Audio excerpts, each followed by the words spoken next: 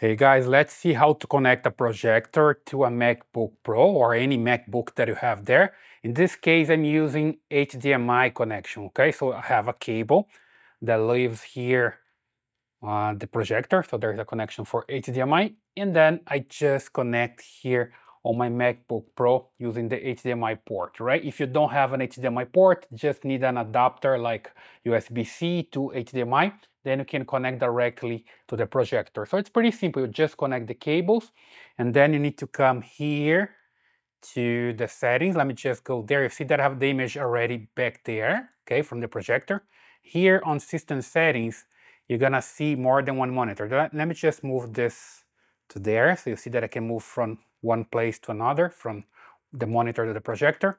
And here on displays, as long as you connect the cables, you can see this one here, High TV, that represents the projector, all right? And then I have the built-in display that represents here uh, the MacBook Pro.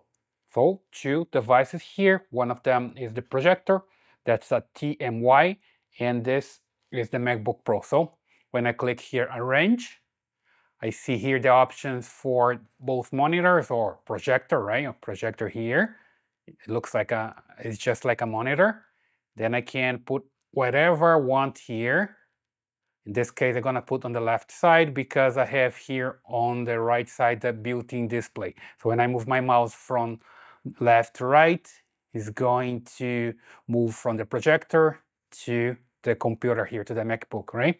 So pretty easy to see. Um, I'm, I'm move the mouse from here to there and works pretty fine and back. And also can move any windows there. So pretty easy like this. Let me just move the window here. See when I go to the right side and it, it just appears here on the built-in display, right? So that's the way you can connect a projector to a MacBook Pro. Just connect the cables, go to display, and they're gonna see the options so you can use it, right?